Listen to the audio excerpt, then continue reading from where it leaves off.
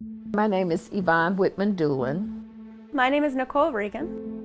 I am Edith Wright. My name is Melvin Wright. My income was very low. Once I paid my rent, paid the electric bill, paid the car insurance, just nothing. Being hungry, it takes from your brain, steals your energy. You don't, it's hard when you don't have food to eat. Hunger can affect anyone. I've always been this hardworking girl. I've always been in school. I've always had a great stable job.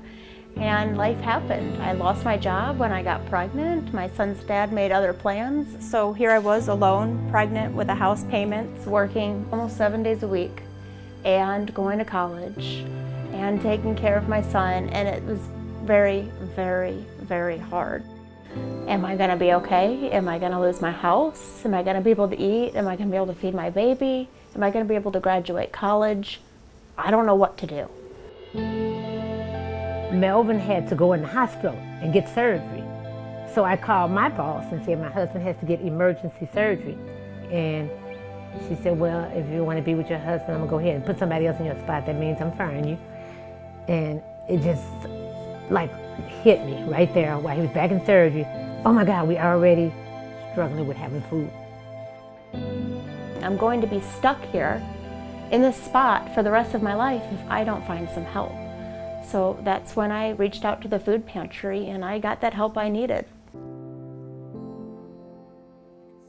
Once we filled out the application, it wasn't even 24 hours before we got help from the food bank.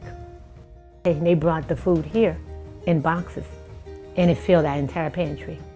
My mother was that mother. She had Sunday dinner every Sunday.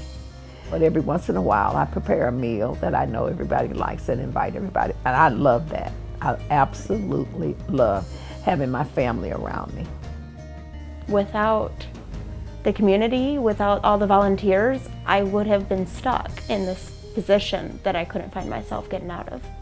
Food does give you hope and, and the strength you need to get through the day. You, how can you function without it? Back then, I would have thought I would have never got through it, but thank God to St. Louis Area Food Bank that there are volunteers out there that love what they do. It is a blessing to get that box. And for the people that go to work to do this, God bless you. It is wonderful. Thank you. Thank you so much for being there for me, for helping me get through college and keep food on the table and provide those basic needs that I needed. Thank God for St. Louis Area Food Bank. Thank you, St. Louis Area Food Bank.